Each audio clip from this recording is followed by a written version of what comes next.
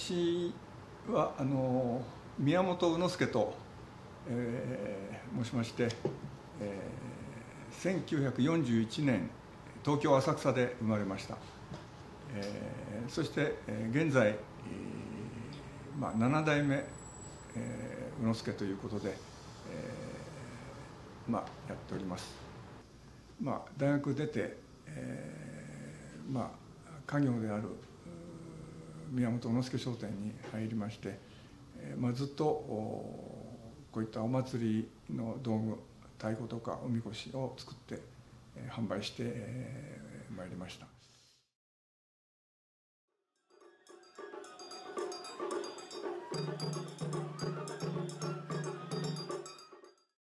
2016年に、えー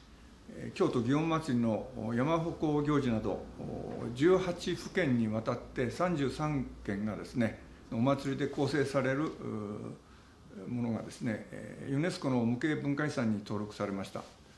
日本三大出し祭りというのは京都の祇園祭と高山の高山祭りと秩父のですね夜祭りがまあ三大祭りとされてます。これらの祭りは日本の地域文化の多様性を示しているということで評価され、えー、そしてこれらの行事が、えー、地域の安泰や豊作、えー、などを願ってですね住民が執り行い、えー、その装飾である木工とか、えー、漆塗り金工染色といった伝統技術で飾った、えーまあ、出汁を練り歩くわけなんですが、えー、もう何世紀にもわたって、このお祭りが維持され地域の絆を強める役割を果たしているとされています。音楽的にはですね祇園林をはじめ各郷土のですねお囃子というものがその出汁に乗って演奏されます、まあ、中でもあの秩父の屋台囃子というのはですね他に類のない非常にお腹に響くような怒涛のようなですね太鼓でこれがあのやっぱり非常に、えー、脱ぎんでた、まあ、太鼓であり魅力で魅力を持った太鼓だと思っております。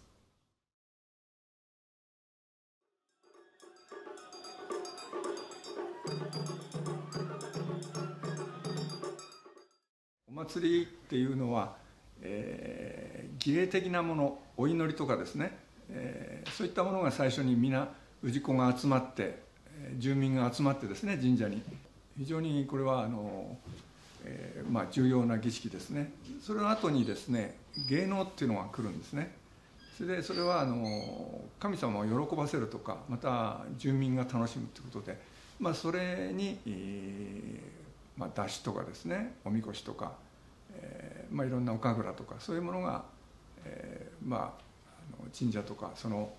まあ、町々で行われるわけですね。そしてそれが今度終わると今度直来って言いまして、まあ、飲食ですね、えー、神様に上がったものをみんなで、えー、いただいてそしてまた神様を送って、えー、来年までですね、えー、まあ、お祭り待つというかですね。そういう形でその儀礼儀礼それから芸能直来というのが僕はセットになって、えー、いるんです。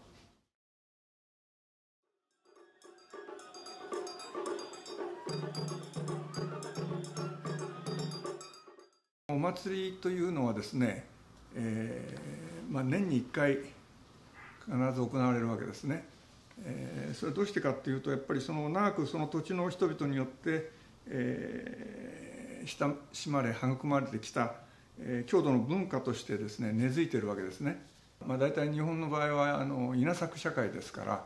えー、お米ですねこれがよく、まあ、育ち取れるようにっていうことで前祝いですねそういったお祝いをすると春にはそれから夏はその田んぼに虫が来ないように虫降りするとか、まあ、物が腐っちゃうからあのなんていうんですかね、えー、人が集まる都なんかでは疫病が流行ったりしてそのまあ当時医学がまあねあの全くこうないわけですから、えー、やっぱりこれはなんか悪霊のたたりだとかなんとかって言ってえー、そういったものの祈祷をしたりまたは日で日で日照りでですね、えー、やっぱりこう雨が雨乞いの祭りとかですねそういうのを行って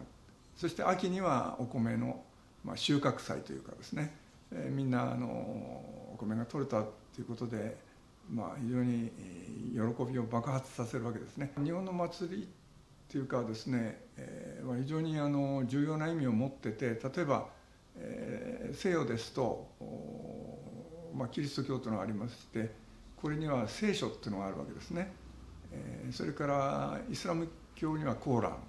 えー、というのがあってこれは文字化されてるわけですねところがあの日本にはそのの神道にはですね、えー、その聖典にあたるものがないんですね。それでまあ1年に1回こう繰り返してこうお祭りをやっていくっていうことが、うんまあ、一つの大事なですね、えー、教えじゃないかなというふうに、まあ、私は、まあ、思ってるんですがやっぱり幼い時からずっとやってこういくということで心に根付いてね来てそれがまあ精神的にもまあ非常にこう、いろんなことで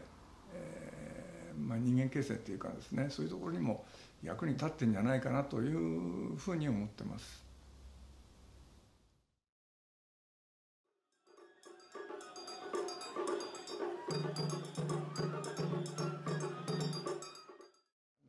ギリスの、まあ、精神科医で作家でもある、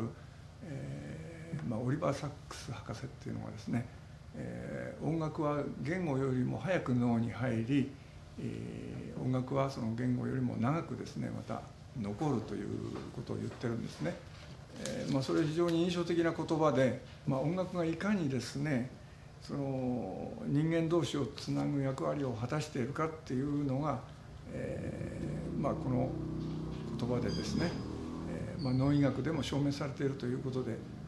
えー、音楽っていうのは非常にあの大事なんだなっていうことを感じましたね。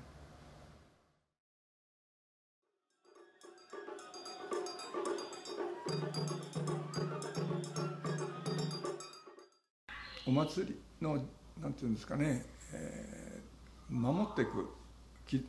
絆っていうのはコミュニケーションは1年に一度のお祭りしかないんですよね。こう都会生活でも地方でも、え、隣とのですねえー、その何する何をしてるのか分かんないというかそういう状況なんでこれが大切だっていうことは皆さん分かってるんじゃないかなと思うんでそれでこうまあお祭りの時には何とかしてやろうということで寄付を募って集めたり、えー、若者がその日に、えー、まあ、故郷ふるさとに帰ってくるというようなことで、えー、まあまあ続いてるんじゃないかなと思いますが。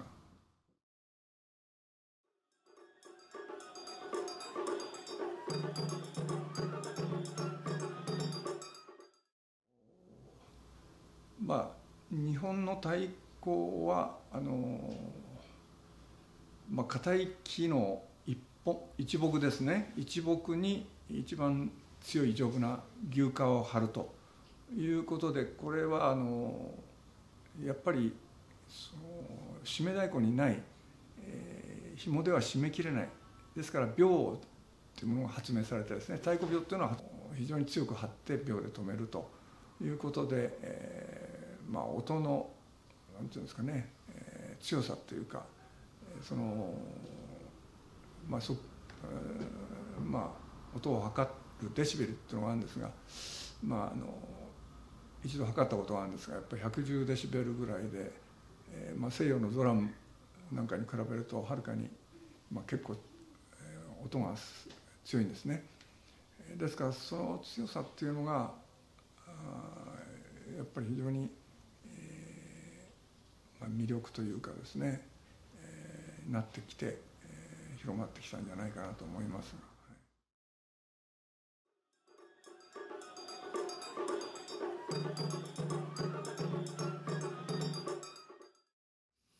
そうですね1975年に私初めてアメリカ行ったんですがサンフランシスコにですねそれでその時にあのサンフランシスコ太鼓道場の田中誠一さんにお会いしまして、練習風景を見せていただいたんですが、えーまあ、非常にもうその時にもですね、えー、日本とちょっと違って、えー、非常にこう楽しくですね、えー、太鼓を打ってたと。そしてあの振りをですねつけて、まあ、踊りですね。そういったもので、えー、まあやってたしあの女性も多かったんですね、ええー、半分以上も女性でしたかね。それであこれは日本は本当にこう非常に緊張したあの緊迫したですね。なんか修行僧みたいな格好で、太鼓を打ってたのに比べてすごく陽気だなと思ったんですね。ですから、えーまあ、やはり日本の太鼓が向こうへ行ってその振りとか踊りが加わったとアメリカで。でそれが今度またヨーロッパの方に、えー、行ってですね、えー、さらに花開いて、えーまあ、今かなりですね、えー、愛好家が広まっているというふうに聞いてますがまああのこれから先、まあ、太鼓の素材革命とかそれから、まあ、打法ですねそういったものが研究されてですね、えー、この IT 時代にあのどういうふうに、まあ、進化変進化していくのか、えー、非常にまあそれは楽しみなところです。